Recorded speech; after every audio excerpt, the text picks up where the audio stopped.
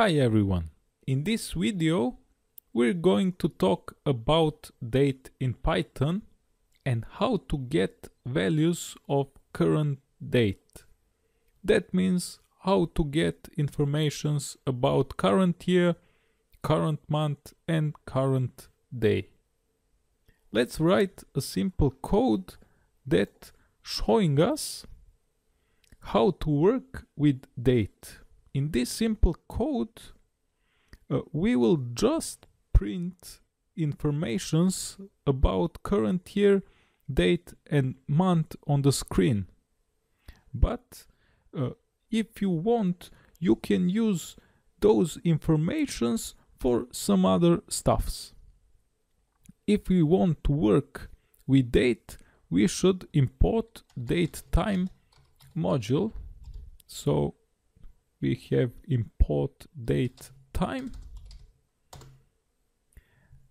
Datetime module supplies classes for manipulating dates and time in both simple and complex ways.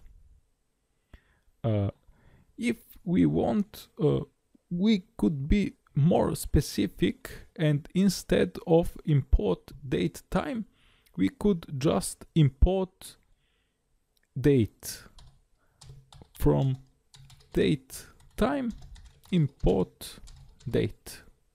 In this way we will be more specific and we will import just part of module with which we want to work. Uh, next what we want to do is to make variable today in which we will keep informations about today's date. So let's write today equals da date dot today. Now, if we want to get information about current year and print it on the screen, we will write print today dot year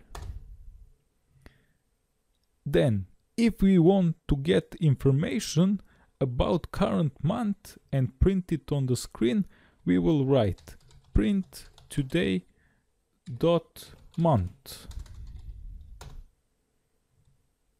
And finally if we want to get information about current day and print it on the screen we will write print today dot day. If we want to get string representing the date and time we could write print today dot ctime. And we will get string with informations about current date and time. Maybe you are already familiar with ctime function if you have already worked in C or C++ programming language. That's all for this video. Thanks for watching. Happy coding.